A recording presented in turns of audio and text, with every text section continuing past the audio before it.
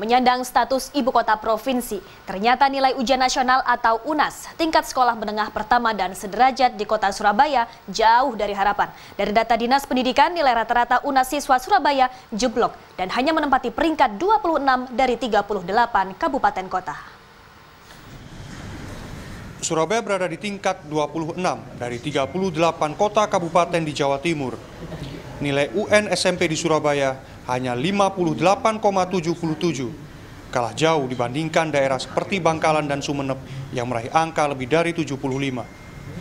Banyak pihak mempertanyakan hasil yang tidak memuaskan ini. Ketua Dewan Pendidikan Surabaya, Martadi mengatakan nilai UN Surabaya menjadi cermin kualitas peserta didik. Tahun ini Surabaya menggelar ujian berbasis komputer 100%. Cara ini membuat peringkat integritas UN di Surabaya salah satu yang tertinggi di tanah air. Tapi apa pun capaiannya, ini adalah sebuah warning untuk kita semua eh, agar kita bisa menyikapi eh, temuan ini, data ini dengan eh, bijak. Karena apa pun ketika indeks, indeks, indeks integritas sudah bagus, artinya anak-anak kita kan sudah jujur, sudah bagus. Nah kalau begitu berarti ini kan menggambarkan keadaan sesungguhnya.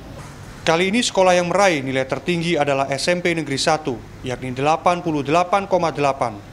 Dinas Pendidikan mengaku belum mengevaluasi penyebab jebloknya nilai UN SMP tahun ini. Rendahnya nilai UN SMP membuat passing grade masuk ke sekolah menengah atas favorit akan dikoreksi. Dinas Pendidikan akan menentukan batas bawah yang mencerminkan nilai rata-rata UN SMP tahun ini.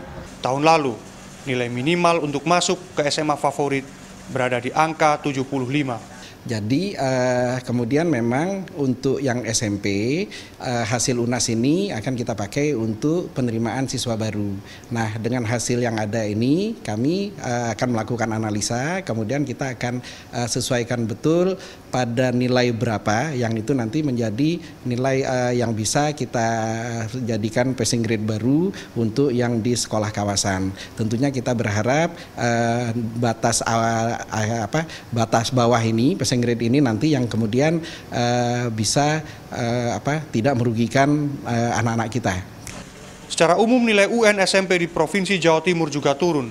Dari 593 ribu peserta, 65 persen di antaranya lulus di bawah standar kompetensi lulusan. Nilai rendah ini naik 17 persen dibandingkan tahun lalu. Miftah Farid, Surabaya.